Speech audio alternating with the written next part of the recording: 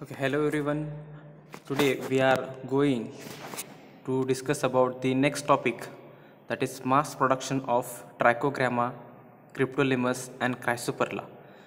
So there is same procedure for the mass production of that trichogramma, cryptolemus and chrysoperla. Regarding that, first we discuss about the procedure about mass production so let us see the first point that is sterilize the rearing boxes in hot air oven at 100 degrees Celsius for 30 minutes. So sterilization is very important regarding mass or mass production of chrysoperla. So first we sterilize that rearing boxes in hot air oven. So within 1 to 2 hours the sterilization of rearing boxes is completed if rearing box is not available so we have to use the plastic tray. So if we use the plastic tray so before using that we have to wash before the use. Next one we use the dry broken grains of jawar. So if jawar grain is not available so instead of jawar grains we use the wheat grains. So dry and broken grains of jawar we have to use. Next one we have to or that uh, dry grains of jawar we have to sterilize and then we have to put into the boxes or tray. So regarding quantity we have to use the 2.5 kg of grains dry broken grains of jawar per box or per tray depending on the box or tray. Then we have to added the 100 gram of roasted groundnut powder then 5 gram of wettable sulfur as a fungicide next we have to use 0.05 gram of streptocycline sulfate. So that streptocycline or streptomycin is used for control of the bacterial infection. So we have to use the roasted groundnut powder wettable sulfur and streptomycin sulfate in each box or in each tray. Then mix well that all ingredients.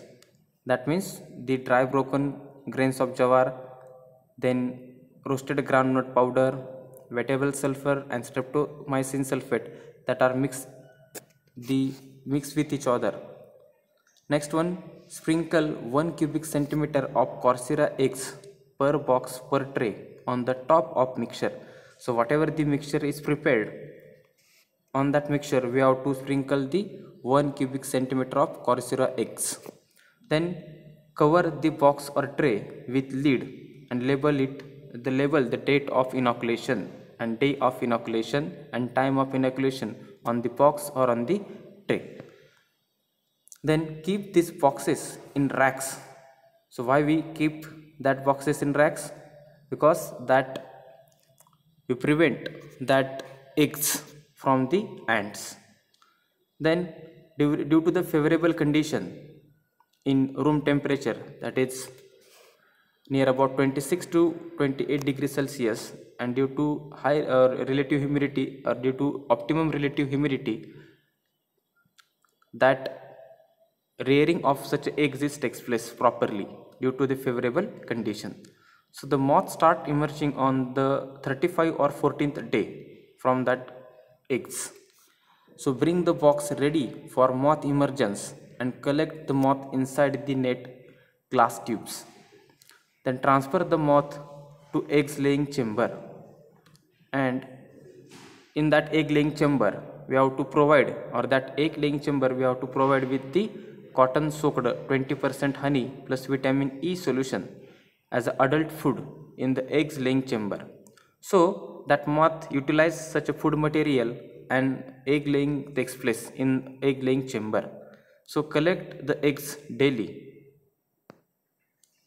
then pour the eggs in paper by tilting slightly downwards. So eggs comes downside whereas dust particle remains in upper side. So this is very important practice.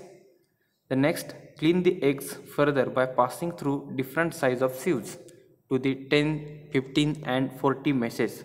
So this is the size of that mesh that is used for the sieving. The next discard the or discard the moth after 4 to or 4 to 5 days and utilize the Corcyra eggs for trichogramma production or as the host culture or store them in refrigerator at 10 degrees Celsius or at mostly at 0 to 4 degrees Celsius. So this is about the mass production of the trichogramma chrysoperla next again we dis discuss about the next procedure of mass production of trichogramma so another process of mass production of trichogramma for that the material is required. That is Corcyra eggs, mother or nucleus culture of trichogramma, polythene bags, rubber bands, scissors, gum, brush, trichocards, 50% honey solution, stapler, refrigerator and UV lamp. Then regarding methodology, just first of all, the clean fresh Corcyra eggs by passing through the sieves. So size of the sieves we have to use that is 15 30 or 45 mesh size. Then prepare the tricho cards by cutting cardboard sheet to the size of 10 by 10 centimeter which can accommodate the 1 cc of eggs. Then on that apply the gum on cardboard and sprinkle the cleaned eggs uniformly after onwards, we have to remove the eggs from card by using the brush.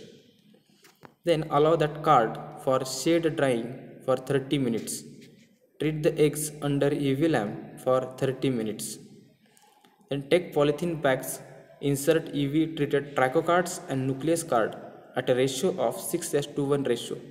That is 6 Corcyra card and 1 trichogramma nucleus card and it provide with the 50% honey solution with vitamin E in soaked cotton sap. So this acts as a food material for the eggs. Then remove the tricho cards after 2 to 3 days.